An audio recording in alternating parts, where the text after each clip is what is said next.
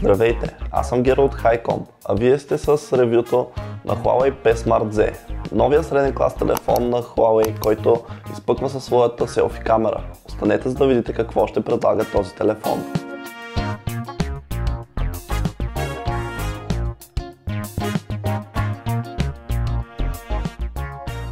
Благодарение на поп-ап камерата, екранът не е нарушен от никакви прорези. Това означава, че може да гледате мултимедия на него без нищо да нарушава картината. Задният панел е разделен на две части. Горната е с по-тъмен оттенък, а долната с по-светъл.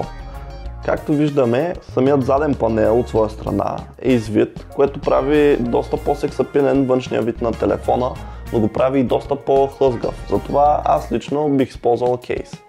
Телефонът се зарежда чрез USB Type-C, на лице и мини жак за слушалки, което съм сигурен, че ще е добра новина за мнозина от вас.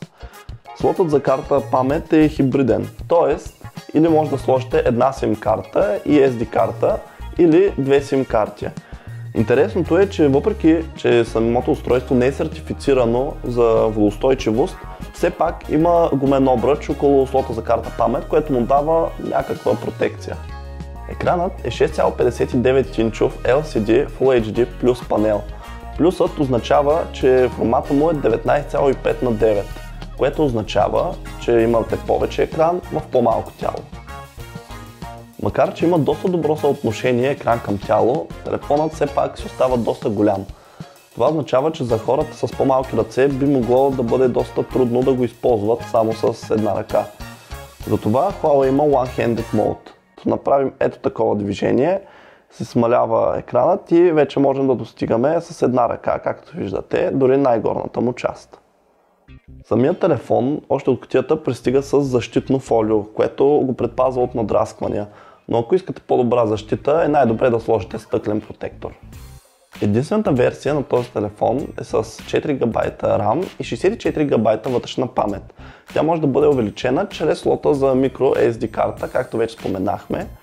Другото, което трябва да знаете е, че процесорът е Kirin 710F. Това означава, че една идея по-добър от Kirin 710 на Huawei P30 Lite. Телефонът идва с Android 9.0 Pie, също и версия на интерфейса MUI 9. Тя ни дава някои много интересни опции, които не бихме имали при иначе чистия Android. Например, можем да плъзнем с три пръста отгоре надолу, за да направим скриншот. Интересно е и че имаме NFC, което е опция, която не се вижда толкова често в този ценови клас. Задната камера се състои от два сензора. Единият е 16 мегапиксела и той е основният, а другият е 2 мегапикселов и той е за дълбочина. Това означава, че имате допълнителна камера, която ви помага да правите по-хубави портретни снимки. Камерата има доста режими на работа. Както виждате, има куп опции, от които да избирате и да освободите фотографа в себе си. Самата тя е с едно доста добро за този клас качество.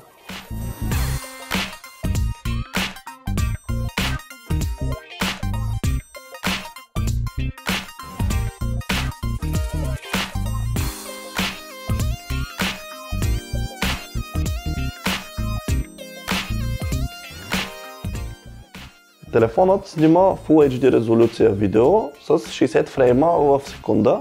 Предната моторизирана камера също е 16 мегапиксела.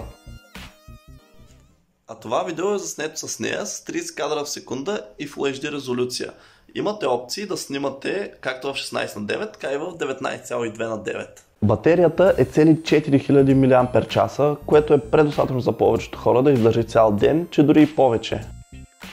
Смятам, че Huawei P Smart Z е едно доста добро решение за всички, които мразят прорези и в същото време нямат против телефонът им да е малко по-голям. Цената също е доста конкурентна. Ако закупите устройството по време на Back to School кампанията на Huawei, ще получите и подарък.